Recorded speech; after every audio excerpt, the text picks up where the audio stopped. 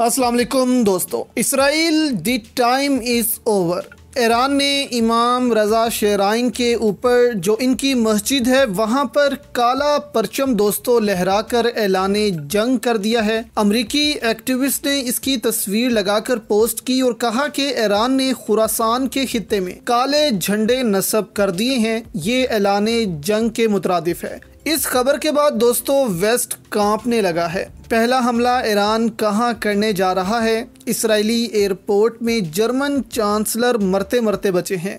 इनके साथ क्या वाकया पेश आया है, ये भी आपके साथ शेयर करेंगे। देखें, खुरासान के इलाके से वैसे ही यहूदी बहुत ज़्यादा डरते हैं, क्योंकि हदीस में है कि खुरासान से एक लश्कर काले झंडे लेकर निकलेगा। अगर इस फौज को पाओ तो इसमें शामिल हो जाना। क्योंकि वो अमाम मेहदी की फौज होगी। और वो ये काले रंग के झंडे एलिया में जाकर गाड़ देंगे, यानी कि आज के यरूशलम में। अब खुरासान में ईरान, पाकिस्तान, अफ़गानिस्तान और भी कुछ वस्ती एशियाई ममालिक आते हैं, लेकिन ईरान में बाकायदा तौर पर एक सूबा है खुरासान। पहले ये सिर्फ़ एक इलाका होता था, लेकिन फिर जब मुख्तलिफ़ ममालिक बन गए तो ये इलाका भी तकसीम हो गया। जैसे बलूचिस्तान ईरान में भी है, पाकिस्तान में भी है पंजाब पाकिस्तान का इलाका भी है और भारत का हिस्सा भी है। अब जिस इलाके में दोस्तों ये परचम फिक्स किए गए हैं, ईरान के, वो खुरासान का इलाका है। और कहा यह भी जा रहा है कि इस मस्जिद में सिर्फ़ ग्रीन परचम लगाया जाता था।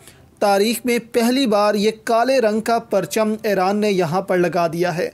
जबकि कुछ कह रही हैं कि नहीं, ये दोनों परचम ही बारी बारी इस मस्जिद में लगते रहते हैं। अगर आपको इससे मुतलिक कुछ इन्फॉर्मेशन है तो नीचे कमेंट्स में इस इन्फॉर्मेशन को सबके साथ शेयर भी करें। अब इस परचम के लगाने के दोस्तों, दो मकसद हैं। एक तो ये कि सोग मनाया जाए, जो गज़ा में इसराइल ने किया है, और दूसरा इसका बदला लिया जाए, सोग के साथ ही बदला होता है।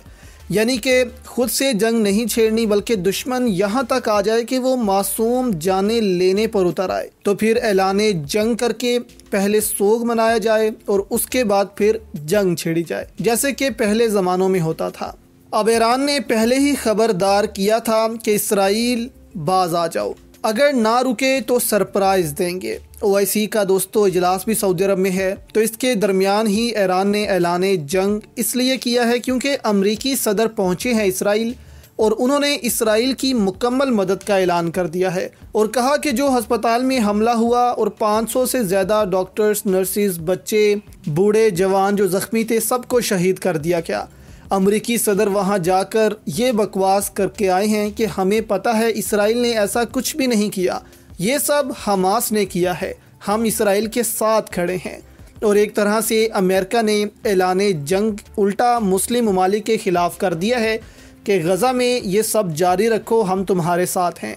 जबकि ईरान ने 10 अरब डॉलर्स की भी डिमांड की है। अमेरिका से कि 10 अरब डॉलर्स दो हमने जंग लड़नी है। इसके बाद दोस्तों, ईरान ने यह परचम लहराया है और ऐलान जंग किया है। और पहला हमला कहा जा रहा है कि अगर ईरान करता है तो ये लुबनान या इराक से नहीं होगा, बल्कि सीधा ईरान अपने मुल्क से हमला करेगा इसराइल पर और इसके बाद इसराइल ईरान को जवाब नहीं देगा। इसराइल अभी इतना ताकतवर नहीं हुआ, बल्कि ये जवाब अमेरिका की जानब से आएगा और अमेरिका का जवाब सख्त होगा। लेकिन ईरान यहाँ पर फैसला कर चुका है कि इसराइल की ऐसी की तैसी फेर देंगे, बेशक हमारा मुल्क रहता है या नहीं, लेकिन इसराइल को सफ़ा हस्ती से मिटा देंगे। दूसरी जानब इसराइलियों के लिए इस कदर गुस्सा दोस्तों दुनिया में पाया जा रहा है कि एक यूरोपी बशिंदा अकवा मुतहदा के कुछ वर्कर्स के सामने आता है और उनको कहने लग जाता है कि बोलो फ़लस्तीन। ये छोटा सा क्लिप देखें आप जरा।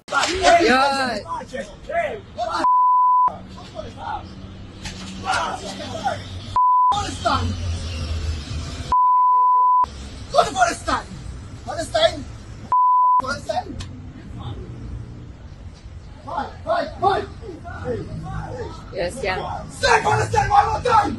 Say for the same one more time! How many Say for the same one more time! Say for the same one more time! Say it! इसमें आप देख सकते हैं कि वो कह रहा है कि बोलो फलस्तीन, नहीं तो मैं मार दूँगा तुम्हें। तो दुनिया भर में दोस्तों, ये आग फैलेगी अगर इसराइल अपनी बरबरीत से बास नहीं आता तो। इसके साथ आप ये विजुअल्स भी देख सकते हैं कि जर्मन चांसलर्स इसराइल पहुँचे थे और जब वापस जाने लगे तो हमास ने रॉकेट फायर कर दिए तो अलार्म बजने लग गए। तो सबको प्लेन से उतार लिया गया और ज़मीन पर लिटा दिया गया कि आप सेफ़ रहें यहाँ पर। आप इमेजिन करें कि अगर वो जहाज़ पर बैठ जाते और आसमान पर जाकर वो रॉकेट इनके जहाज़ पर लग जाते तो क्या होता? क्योंकि इसराइल फ़लस्तीन की स्पेस इस वक्त महफूज नहीं है। तो ऐसी ही सिचुएशंस दोस्तों बनती हैं कि आलमी जंगें शुरू हो जाती हैं दुनिया में। तो अब देखना यह है कि ओ अब अपना फैसला क्या सुनाता है इसराइल पर और ईरान फिर अपना पहला हमला इसराइल पर कब करता है। आपकी इस पर दोस्तों क्या राय है? हमें नीचे कमेंट्स में ज़रूर बताइएगा।